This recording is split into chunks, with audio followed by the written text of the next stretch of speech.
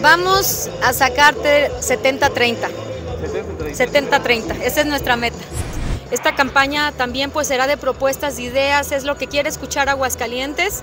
No escucharemos eh, ataques ni, ni malas ondas de nadie, ¿verdad? Escucharemos solamente a la gente, escucharemos eh, lo que quiere realmente los municipios y bueno, pues trabajaremos de la mano como siempre lo hemos hecho durante muchos años con la ciudadanía. ¿No por la guerra sucia? No, no, no, no, no vamos a, a permitir que, que, esos resentimientos los traigan aquí a Aguascalientes.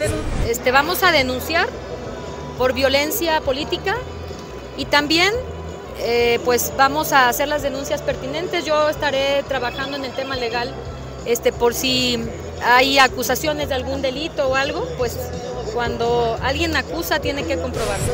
Pues esperemos que, que respeten la democracia, que respeten el Estado de Derecho, que respeten la voluntad de los ciudadanos de Aguascalientes. y que no se dejen creer que por, porque les dicen que les van a quitar 65 años y más.